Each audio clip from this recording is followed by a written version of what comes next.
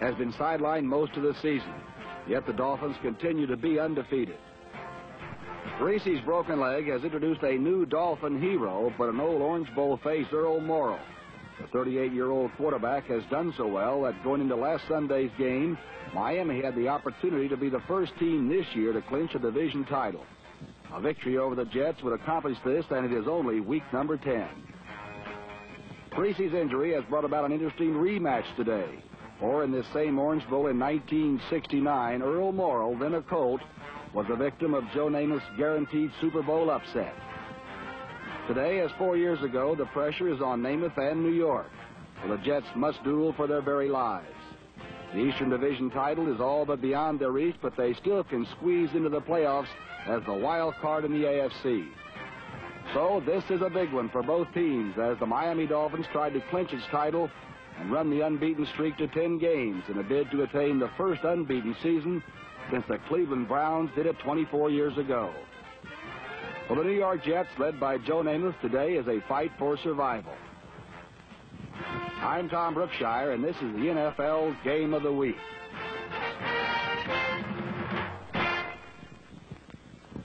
New York's chances for an upset look dim indeed when on their first series of the game from deep in his own territory, Namath's pass was intercepted by Dick Anderson, number 40.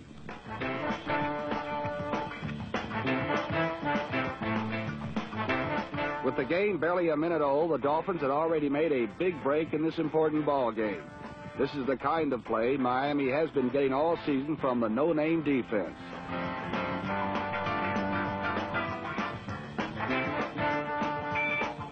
Several plays later, Earl Morrall hit Howard Twilley, slanting in the end zone, and Miami was on the boards first, 7 to nothing. Again, it was Howard Twilley who made the big play for six points. This is the little guy who every summer camp loses his job to faster men. But when the season begins, Howard Twilley somehow finds his way into the lineup. This year, such talented receivers as young Otto Stowe and Marlin Briscoe, who Miami obtained in a big trade, are sitting on the bench watching the tough Twilley star.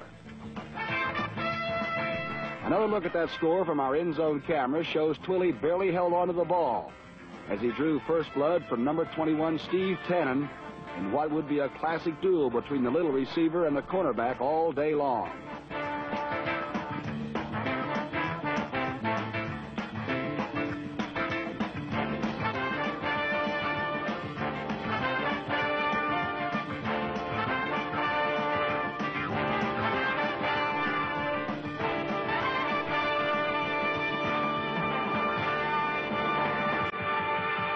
Miami defense in a five-man zone to negate Namath's long ball striking ability.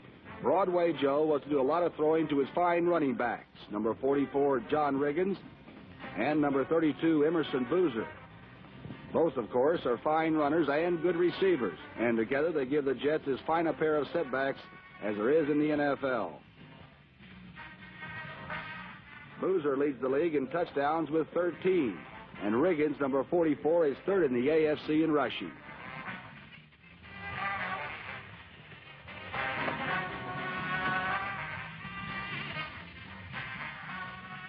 After the two jetbacks moved the ball into Dolphin territory, Joe Namath unleashed a pass to Rich Caster that brought the Jets to the Miami 11-yard line.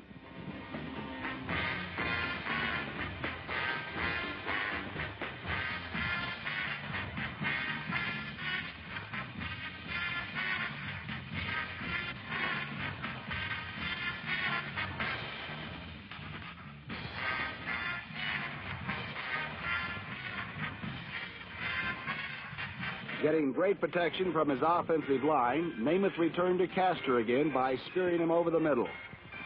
Caster's catch brought him just one yard short of the goal line.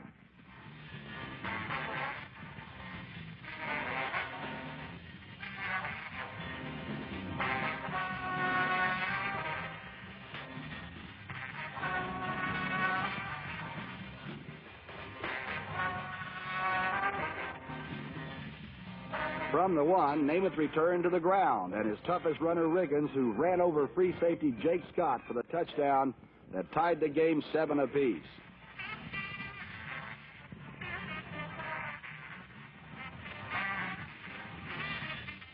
Any thoughts of a runaway the Dolphin crowd of over 80,000 might have entertained after Miami's early touchdown had to be dispelled by the methodical ease with which the Jets marched downfield against the Miami defense.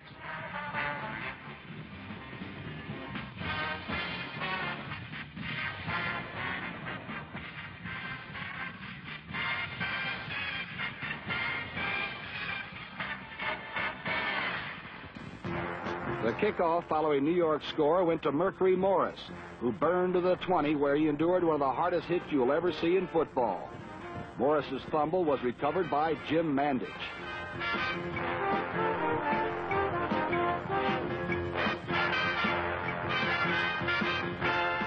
A slow motion look at the great play made by number 63, bomb spotter Roy Kirksey, shows the force of his tackle, the fumble, and Mandich's recovery.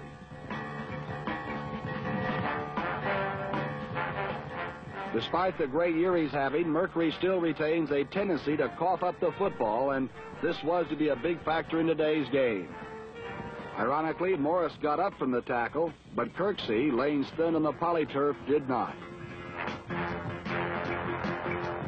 Morris's fumble set off a series of dropsy for Miami as tight end Marv Fleming muffed a third down possession pass from Earl Morrall.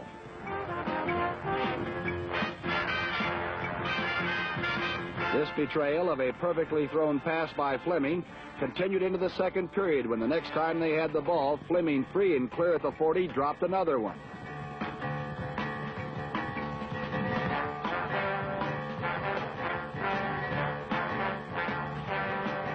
Fleming's real value has always been his fine blocking. Nevertheless, this is one of Miami's few weaknesses on offense, a tight end who can't catch the football. Fleming's muff was on first down.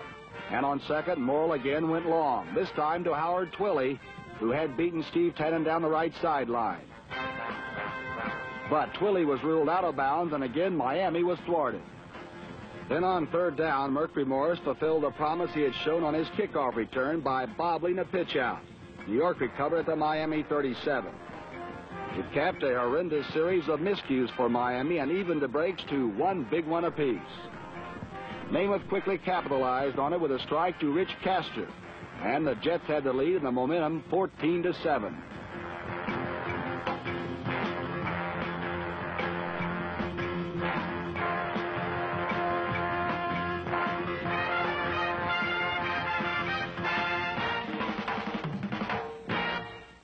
With the score of 14 to 7, New York had the ball in their own 38 when John Riggins broke loose for a big gain. Riggins' great 40-yard run put the ball on Miami's 14 and gave the Jets an excellent chance to balloon their lead to 14 points.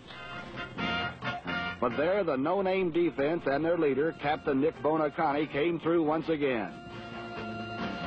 Buoniconti read a pass over the middle intended for Boozer and made the interception to save a certain score.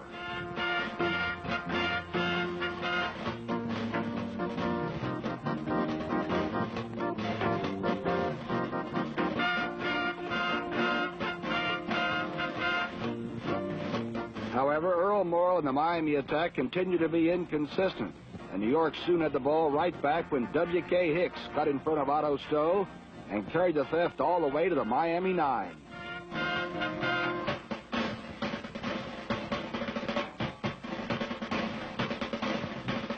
New York again had used a Miami turnover to gain great field position, and again had an excellent opportunity to take control of the ball game. But once again, the Dolphin defense came through in magnificent fashion. When Manny Fernandez batted down Namath's third down pass, Bobby Howfield was called on and successfully kicked the field goal that brought the score to 17 to 7.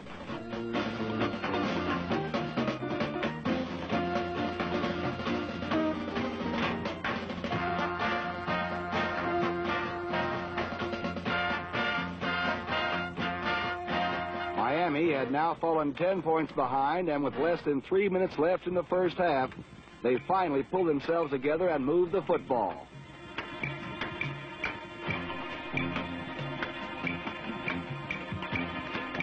Unsurprisingly, Howard Twilley got them started on a 22-yard slant between Tannen and Hicks. Then one play later, Earl Morrall cranked up his 38-year-old arm and let it fly. Again, Twilley had badly beaten Tannen. Though he was out at the one, the little guy had again proved to be the big gun. In Paul Warfield's absence because of an injured ankle, it was vital that someone take up the slack, and today Howard Twilley was the man that got it done. From the one, the call went to Larry Csonka, who was crunched in midair and lost the ball for the first time since the Super Bowl. But Miami guard Bob Kuechenberg recovered.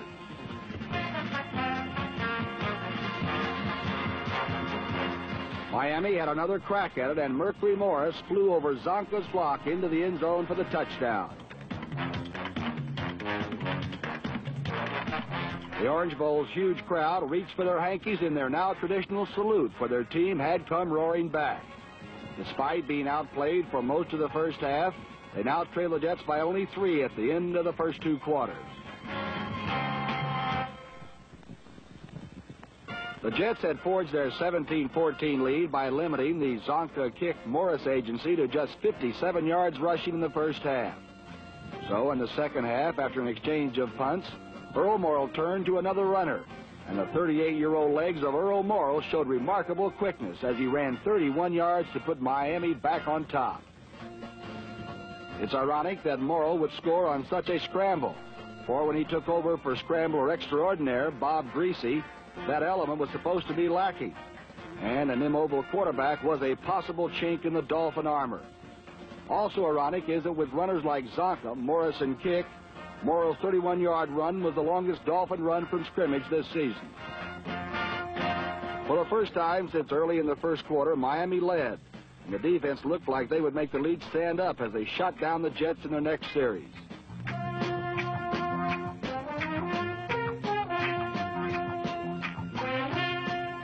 But now, faced with fourth and punt, the Jets got a break. Keep your eyes on the kicker.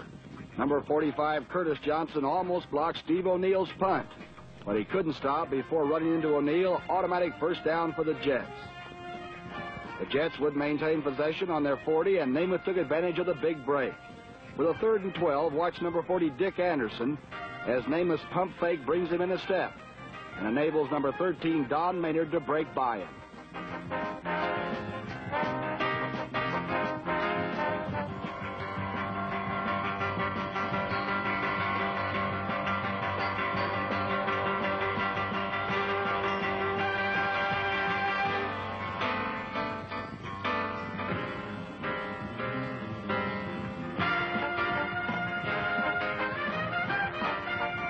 The play worked for 41 yards, though Anderson claimed Maynard caught the pass out of bounds.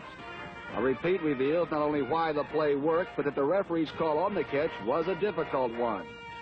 Anderson had been sucked in by Namath's pump fake to Riggins, swinging out of the backfield, and watched Maynard try to drag his left foot inbounds. In this split instant, you be the referee. You'll agree it's a tough job. Maynard's catch brought the ball to the Miami 20. And after chipping away to the four, Namath made a strong fake to Emerson Boozer. Put the ball on his hip and hit tight end Wayne Stewart. The Jets now led 24 to 21 as the lead changed hands for the fourth time. On a repeat, watch how well Boozer carried out his fake. Actually diving into the line. Then notice that Jake Scott, number 13, has come in toward the line thinking Namath was on a bootleg run. That was all Namath needed to drop the ball over him and on to Stewart.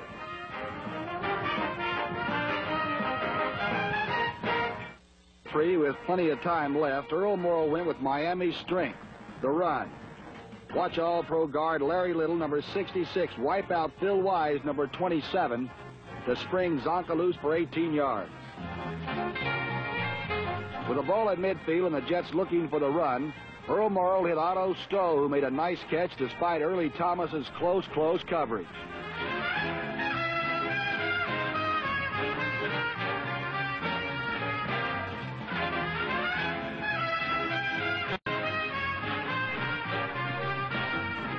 But that was the extent of the drive as the Jets stopped Miami on three consecutive plays.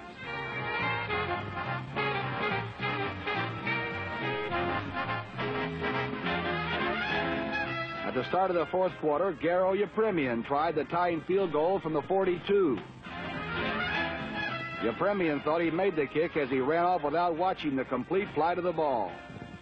But when he turned back, no amount of body English could put the ball through. And his expression changed to gloom as Miami still trailed by three in the fourth period. Two plays later, Miami had the ball again when number 42, Cliff McClain, went into the line with the ball, but emerged without it.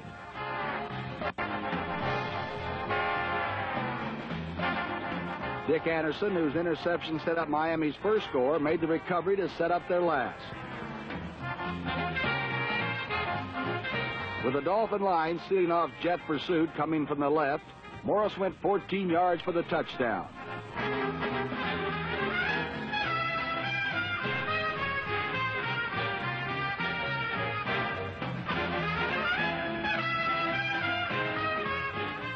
Run, Mercury Morris showed he has more than just speed and moves as he powered over Phil Wise to get the score.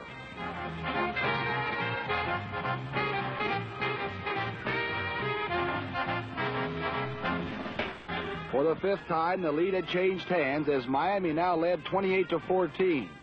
And repeating the play reveals why Miami had taken the lead.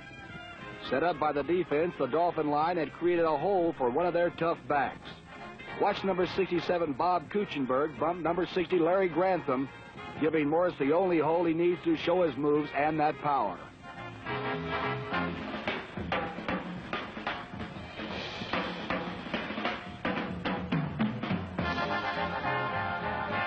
The touchdown was Morris's fifth in the last two games, and he has asserted himself as a starter and has broken up the Butch Cassidy and Sundance Kid tandem having forced Jimmy Kiick to the sidelines with his performance this season.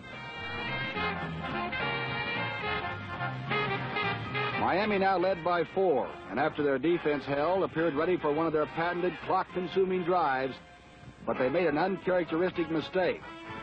Earl Morrall, though hit by no one, fumbled, and Jerry Philbin beat him to the ball.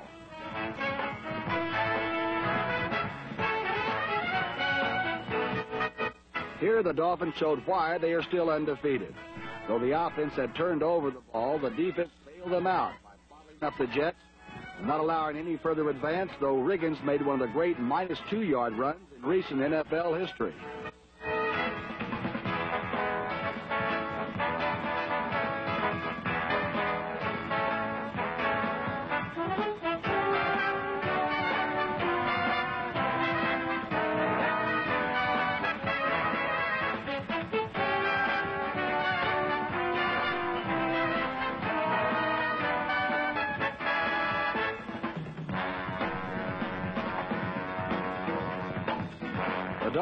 Defense had done it.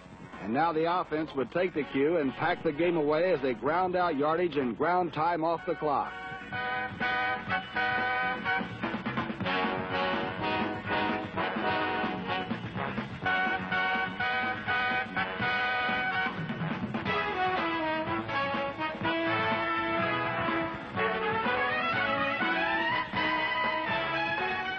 Mercury Morris gained 88 yards in the second half. He went over the century mark.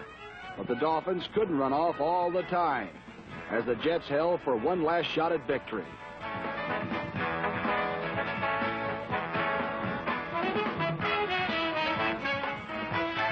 Csonka's fumble came after the whistle.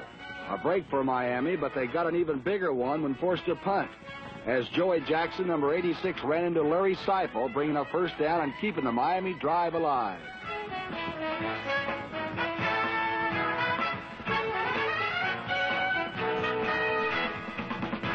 Like every punter, Seiple has developed a first-class dying swan routine to draw penalties, but this time Seiple was really hurt, having strained his knee, and illustrates why the roughing the kicker penalty is a real safeguard in pro football. A punter is highly vulnerable to injury until well after he's landed, after he makes the punt.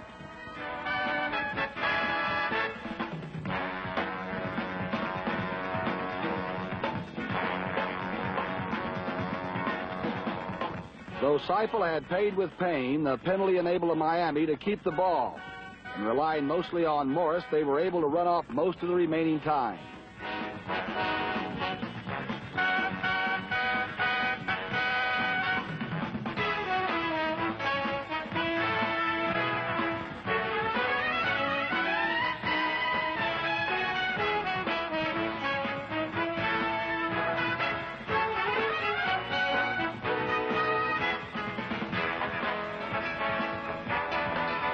Though the Dolphins did not completely run out the clock, they forced the Jets to use all their timeouts. So that when Dick Anderson, standing in for Seiple, punted, the Jets got the ball in their own nine with no timeouts remaining and little time left.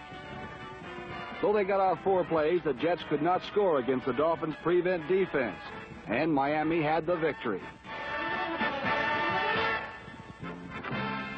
Don Shula's 101st victory in just 10 years of head coaching was the Dolphins' 10th straight win in 1972. After only 10 weeks, the Dolphins, still undefeated, had clinched the AFC Eastern Division title, the first step in what looks like a return to the Super Bowl. It is the earliest that a team has clinched a playoff berth since San Diego did it in 61. But the Jets still have a shot, too. They had nearly beaten the Dolphins, and if they continue to play well and can win their last four games, they might make the playoffs as a runner-up team. Perhaps Don Shula's Dolphins and Weeb Ewbank's Jets have not seen the last of each other this season.